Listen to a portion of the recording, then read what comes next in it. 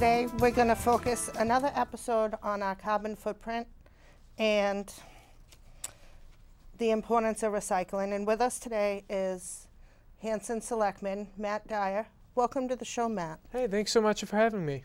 So, you want to bring to the town meeting in October um, the possibility of voting on a plastic bag ban. Um, can you elaborate for us what that would mean to the residents in Hanson? Sure, absolutely. Um, so, for those at home that don't uh, haven't heard about this plastic bag ban or polystyrene ban, it's just um, a simple way for us to start reducing our waste uh, for future generations, for your kids and your grandkids and my grandkids' grandkids to be able to live on a habitable planet. Because right now, with our growing population, we have uh, we have more and more people coming onto the planet and more and more waste being produced. And this is a great way for us to cut down on our waste to have an impactful, um, an impactful solution. And that's not going to really have too much of an impact on us, but a bigger impact for our future generations. So, when I was growing up, we didn't have plastic bags. We had brown paper bags and they switched to plastic.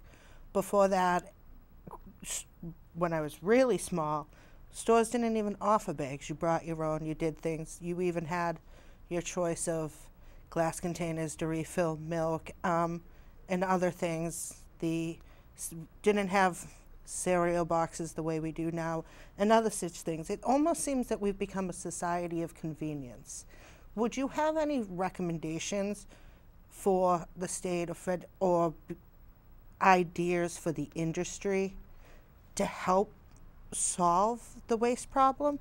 Absolutely, absolutely. Um, part of it is, as you said, we're becoming a society of convenience. One-time use, use it and lose it. Don't worry about it. And with that mentality, we just consume and consume and consume. And we're running out of space in our landfills. And if we're not re using reusable packaging materials, such as styrofoam, styrofoam will go to the landfills and sit there for hundreds of years. And we haven't seen how long it's going to take for them to decompose yet because it hasn't been really around that much. And with plastic bags, they can take up to hundreds of years to decompose in an area in the landfill that has no oxygen. So some of the recommendations for not only the industry, but for consumers to kind of push that um, push that demand is for the consumers to really start making better decisions. So when you go to the supermarket, when you're picking out mustard and ketchup, reach for the glass because glass can be reused over and over and over, where that plastic uh, mustard jar can only be maybe reused two or three times, and then the plastic becomes unbearable and it's not being able to be reused. For industries, I think that the people up on the ninth floor or the 52nd floor where, who are making these decisions, they need to start thinking, how can we reduce our waste? And if they're reducing their waste and they're keeping the same price, they can actually improve their profits as a corporation. Absolutely, I agree. Now, you mentioned styrofoam, um, and I know that other municipalities uh, make money from their white um, styrofoam, especially um, packaging um, foam that your TV would come in and other things. Is that something that you would try to implement for the town of Hanson um, at the recycling center if you could get the Board of Health on board and train that the transfer station become a real recycling center?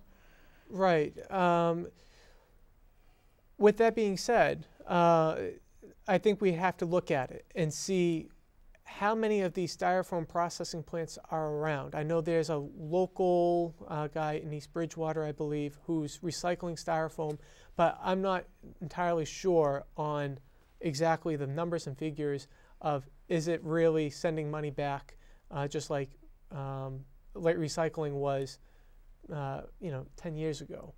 Um, so that's something that we're going to have to look into. And absolutely, if there's any way that we can give more options up at the transfer station for recycling, uh, not only paper and plastic, but styrofoam, and if we have the room and it's in our capacity, I'd recommend it absolutely. And if it's not going to cost an arm and a leg, it's a no-brainer.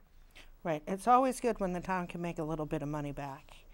Um, and then we, the, the meeting, and there's trouble with not only China's not taking our recyclables and things like that anymore, but also the rising costs because folks are not cleaning and washing out their recyclables before bringing them to the transfer station.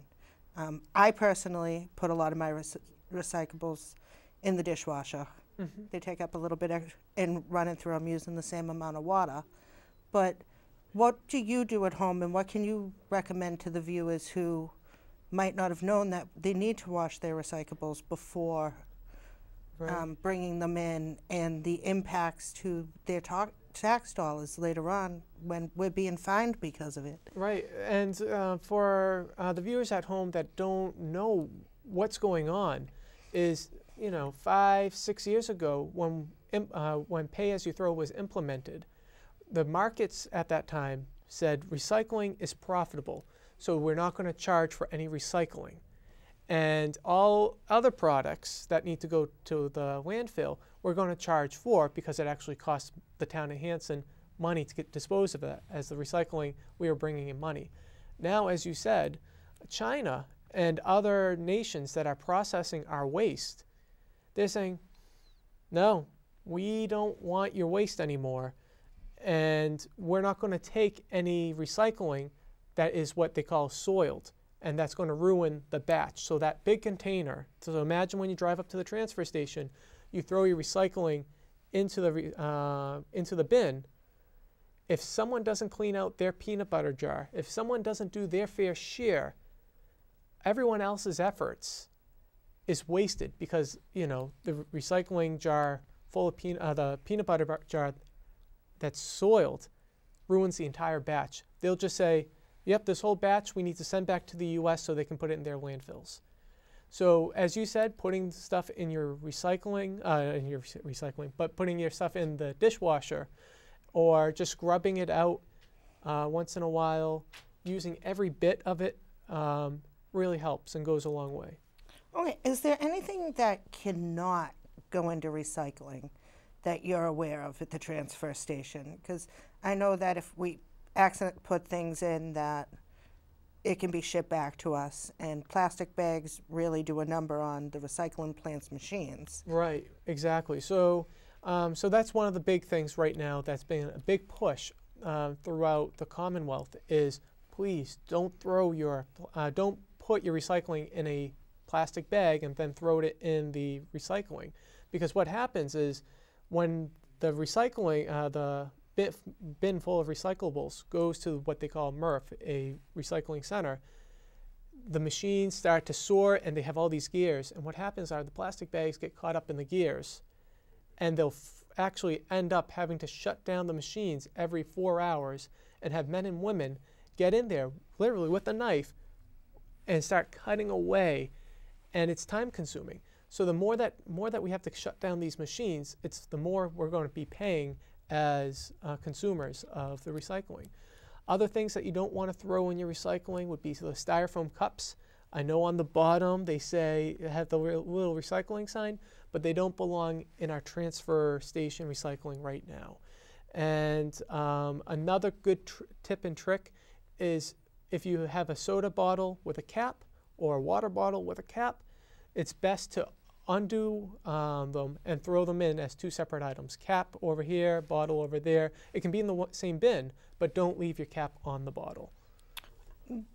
That's a great point. Are there any other small, simple tips like that that would be helpful for the viewers to know? Um, yeah, I, w- I would say for just get in the practice of saying, is this trash or is this uh, recyclable? And kind of just go go on to mass.gov and go on to the uh, DEP website and kind of look at what is recyclable. My mom, she's great. I love her. she and she wants to make me proud, but she'll throw stuff that doesn't belong in the recycling, and she thought it was, and it's just because she didn't know what could and couldn't go in there. Now I know you speak of parents, and I, my, I love my parents. They're near and de- dear to me. I'm a little older now, um, but we had hard plastic recycling that last year could go to the transfer station, and this year we were told to cut it up, put it in orange bags, and what are the, if we're not going to have a real recycle and be able to take recyclables, and we're going to promote to ultimately fill our la- landfills and pla- plastic's going to sit there forever. Um, how would we improve? What can we do? Um, are there other places around that may able to do do that, or things that we may not want anymore um, that someone else may be able to repair or make art or something out of it? Are there swap sheds or anything like that in the town of Hanson, or Um, there are a couple of shops that may be interested in taking that, um, but I think it's hard when you bring it to the transfer station. You have to, you know, some people are just trying to get rid of things, so you don't necessarily want to drop off something that is truly at its end of its useful life and cosmetic life. So, but if it's something that's lightly used, like a nice, um, nice lamp or whatnot, there are places, there are drop-off centers throughout the South Shore that might want to take it, like Habitat for Humanity, uh, Salvation Army, um, and here in Hanson, there's a couple of other shops that might be interested in. do you happen to know the name of the local shops here in Hanson? Um, I believe there is a shop right on 27, and it the name blanks, but it's in the old Ocean Spray building on the right-hand side as you go over the railroad tracks towards the police station. Um, but I don't know the name off the top of my head. Does the senior center still have their thrift shop? Do they take donations? Uh, that's a- that's a good question, and I'm not too sure if they do or not, um, as they've had a big influx of users over there. Okay, and we we apologize everybody for not knowing the exact names. Um, these things have just bouncing off um, by conversation, but it's something that you definitely want to go look into rather than trashing something um, to see if you can gift it or donate it um, to a secondhand shop. And even hop on Craigslist, and um, if you i feel free to throw stuff up on Craigslist, put it under the free section, or even make a couple bucks. And um, the police station is always lit, and it's a safe area. So rather than having the person come to your house, you can just meet them at the Hanson Police Station in their parking lot and do a safe uh, transfer. That's a, another excellent idea, and I know a lot of people have gone away from Craigslist because of the dangers of it. Yep, and, and then freecycle.com is another website where there's just stuff that people are trying to exchange, and it's just another outlet. That's excellent. Um, are there? I know there's always talk with um, Camp Kiwanee and Cranberry Cove, and with the season starting again, I know in past years they haven't had separate recycling bins versus trash. Um, and I was going to call Vice Chairman Zuko because it happens to be a neighbor, um, and I forgot before the show, um, to see if they'd had redeemables at one and then a separate recycling and regular trash, if that would be a burden to the to them and the highway department and those who assist with, with the camp. Um, but and then also wondering about the funds and others of who's gonna cash in the recyclables and who would drop off the money and which Right. account would it go to? Right, uh, um, and that's and that's definitely something to look into for Camp Kiwanee um, and the Recreation Commission. And I'm not going to really comment on their behalf, Right. um, but it's something that, that could be looked into. Uh, but it's definitely an operational piece as well, and um, I think that the commission as well as the staff would have to really look into it. But I agree, it's another great way to recycle, but also bring in some couple bucks here and there um, for the cove. Now, a lot of a lot of different things are made, like comp- composite decking and others, but it's a lot more expensive um, for the contractors to use and handyman. And then in the in the long run, there's not a lot of repair work to be done because it has a lifetime warranty. Um, have you ever thought or discussed with anybody the possibility of not just doing the bans um, to help reducing the carbon footprint, but to promote more materials in the world of building, um, in art, so we're using more of our waste um, in a positive way? Yeah, I haven't quite looked into that um, that specific um, material and seeing what we could do on the municipal level. And I think too, some people don't like it. You know, it, it seems to get a little bit hotter than the wood with the darker colors. uh, You know, and it might just not meet their facade of the house.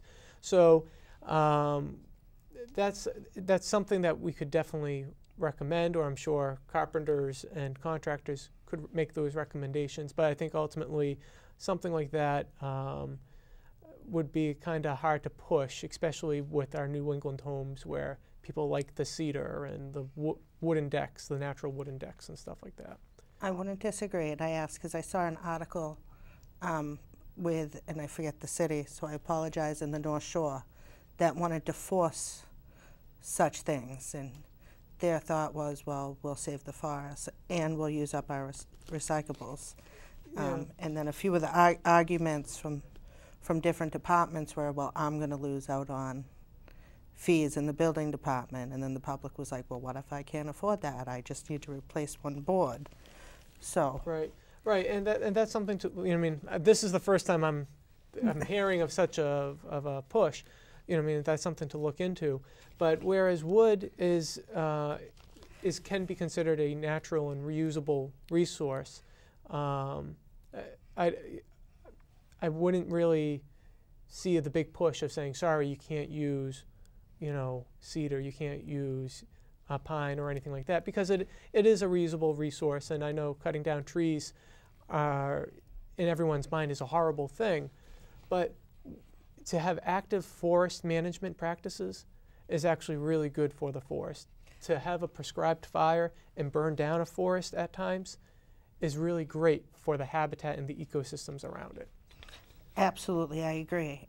And myself, and I'm sure our viewers will be happy to know that, at least down here, we won't have to worry that the possibility of being restricted to what we can use on our New England homes um, won't be at risk. Um, so, we've talked a lot about the carbon footprint where the land, landfills are full, and we can ban certain things to reduce different things. Can you recommend any other simple ways at home where we could reduce our carbon footprint even more? Um, I know that the EPA data shows that um, if we just recycled one ton of office paper, that it'd be the equivalent of um, saving um, about 322 gallons of gasoline. Um, and just they say that just recycling 10 plastic bottles saves enough energy to power a laptop for more than 25 hours. So, Just one single can that you recycle, uh, one single Coke can or Pepsi can.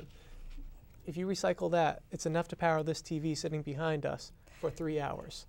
So every bit helps. But before we even get into what can we do for recycling and stuff like that, is ask ourselves, do I really need this? And not uh, not buying into something that you're just going to have for you know maybe a couple months, a couple years, but I really ask, do I need this? Do I really need to replace that just because I want something new? And then the next best step is efficiency, energy efficiency. I know right now we're kind of coming into the summer, and people don't necessarily think of energy efficiency and they turn on their AC, but it's just like heating in the wintertime. You want to seal up those cracks. You know, you want to make sure what you can do is actually uh, through um, Mass Save is you can actually have an energy audit. You can have people come to your homes for free. They'll walk, awa- uh, walk around with a geothermal camera, and I believe we still have one at the Hanson Library that folks can just lend out. And you can actually scan your home, and you can kind of see where your air leaks are. because heating air is one of the most um, energy consumption things that we do is by heating the air, cooling the air. So by just making a more efficient home, by doing that is good. Uh, with also with Mass Save, they'll come out and say, "Hey, you're using incandescent light bulbs. You should start using LEDs, and they're going to use less energy." Um, and maybe purchasing in, on your next big purchase for a washing machine or a television, or even a uh, oil uh, or a, a heating system. Look at it and see if it is a Energy Star approved appliance.